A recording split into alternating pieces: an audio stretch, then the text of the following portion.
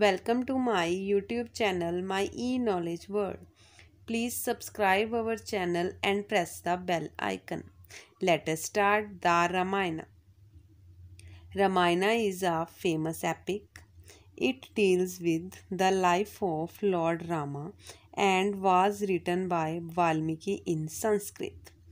It was later written in Hindi by Tulsidas and the work is known as Ramcharitmanas.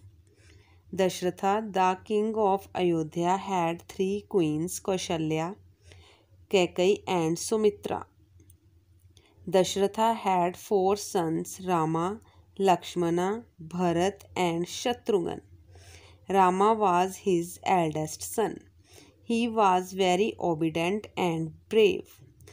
When he comes of age, he married Sita, the princess of a nearby kingdom.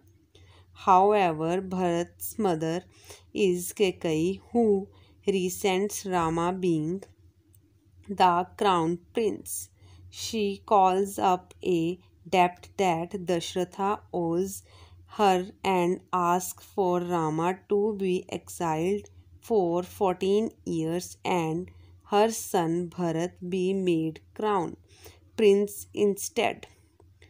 Rama was an obedient son. He left for 14 years of exile to keep his father's words. His brother Lakshman and wife Sita also went along with him. King Dashratha could not bear the separation and died. Bharat, Rama's younger brother, went to the forest to bring back his brothers and sister in law, but Rama refused to return.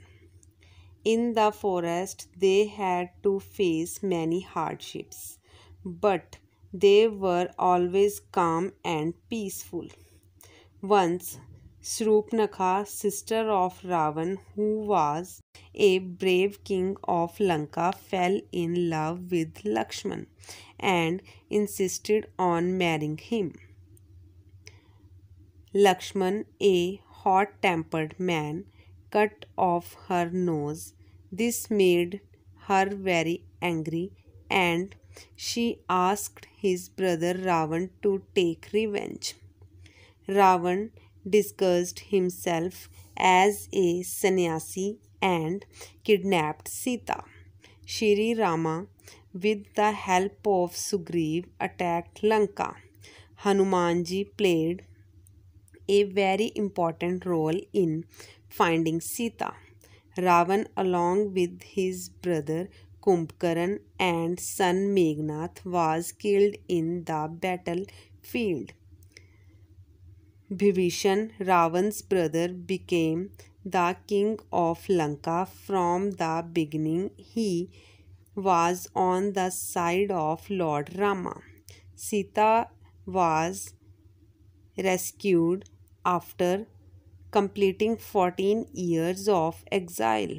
Rama returned to Ayodhya people rejoiced and welcomed them by celebrating and lighting up the city. Even today, this famous festival is celebrated as Diwali. Ramayana is life history of Lord Rama. It teaches us how one should behave in society. It is a sacred book of Hindus. This book is read on all important occasions in the Hindu society. Thanks for watching. Please like, share and comment the video. Please subscribe our channel My E Knowledge World and press the bell icon.